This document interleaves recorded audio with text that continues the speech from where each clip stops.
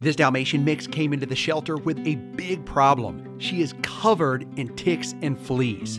All of this irritation is due to the ticks and fleas that were on her.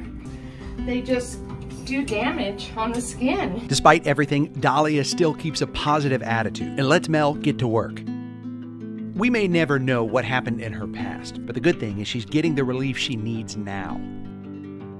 They didn't seem that bad looking at her, but when you wash her and you feel her, you can feel them all. Mel needs to dry her off and pick off the leftover critters one by one until they're all gone. Dahlia is initially a great sport about it all, but soon she gets antsy. Here's the good news she's all wrapped up, and wow, look at her, she's gorgeous. Even better news, she's been adopted. I'm gonna cover the cost of her grooming thanks to our sponsor, Sundays for Dogs. It's an amazing air dried dog food, and it's what I'm feeding to my dogs right now. I'll include it right here in this video so you can check it out.